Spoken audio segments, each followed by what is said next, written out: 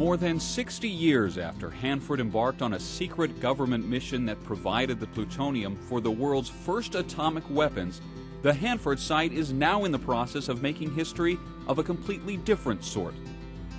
The Department of Energy Office of River Protection is preparing to treat millions of gallons of radioactive liquid waste at what will be the world's largest, most complex nuclear waste treatment facility. Once up and running, the waste treatment plant, also known as the vitrification or VIT plant, will immobilize Hanford's radioactive liquid waste into thousands of glass logs for safe long-term storage. But how did we get here? Where did the waste come from? And why is this facility being built in the first place? To answer these questions, we must travel back in time. In 1945, scientists and engineers at Hanford's B reactor created the world's first weapons grade plutonium used in the atomic bomb dropped on Nagasaki, Japan to end World War II. In the years after the war, Hanford was expanded to include a total of nine nuclear reactors and five plutonium processing plants, all using different chemical processes. These facilities produced much of the material needed to build the U.S. nuclear weapons arsenal during the Cold War. When the final nuclear reactor was shut down in 1987, a deadly legacy remained. Millions of gallons of chemical and radioactive waste, byproducts of the decades Hanford was actively producing plutonium. 56 million gallons of that waste is currently stored in 177 underground tanks, some of which are known to have leaked, threatening the groundwater and the nearby Columbia River. The waste stored in these tanks right behind me is the focus of our nation's largest environmental cleanup effort. Buried under 10 feet of soil and gravel and holding up to a million gallons of waste, each tank is only accessible through a series of pipes called risers, most of which range in size from just a few inches to just over a foot in diameter. The first step in this complex process is transferring waste from old single shell tanks to newer double shell tanks to prevent further leaks and contamination of the soil and groundwater below. All of the pumpable liquids have been transferred, and work now focuses on transferring the non pumpable liquids. Workers must lower tools through the risers to remotely scrape, scour, rake, and push the waste toward a centralized pump. Because the tank waste varies from sludges to salt cakes and concrete like solids, different methods are used to remove the waste from the tank. But transferring waste from one set of tanks to another is only a temporary solution.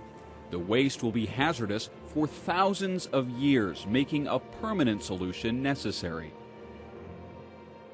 To solve this problem, the DOE is building an integrated system to treat and immobilize the waste.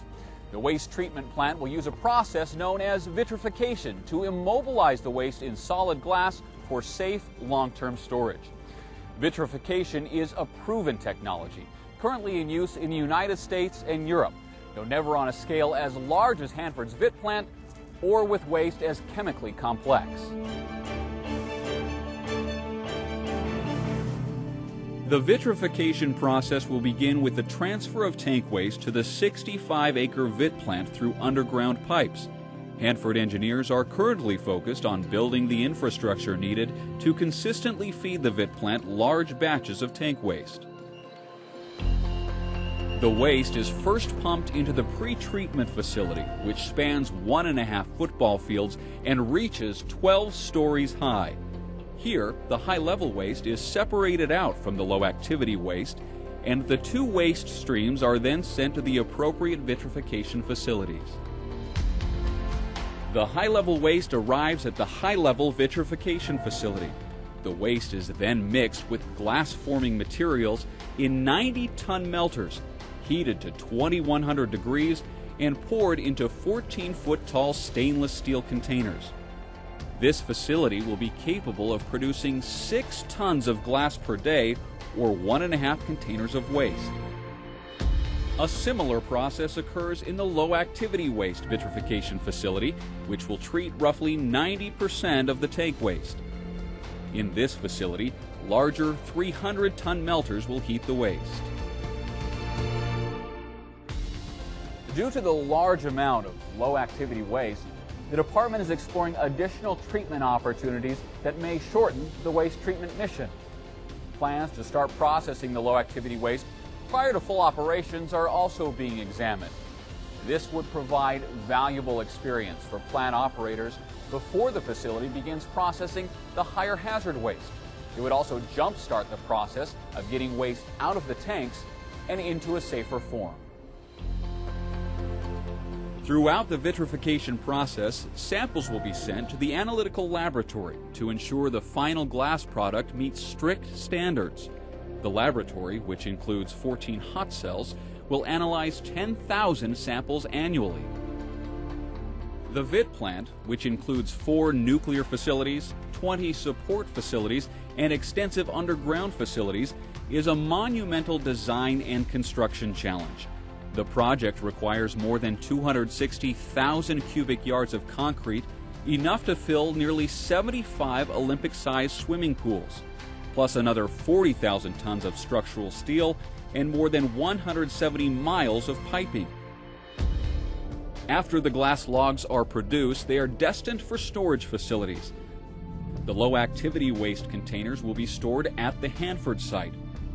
High activity waste containers will be temporarily stored on the site in an interim storage facility and then moved to a future National Geological Repository.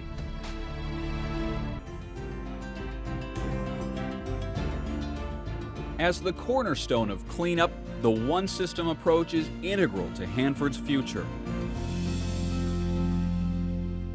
The Office of River Protection is committed to implementing its mission safely and reducing the risks posed by the tank waste to all of us and the environment.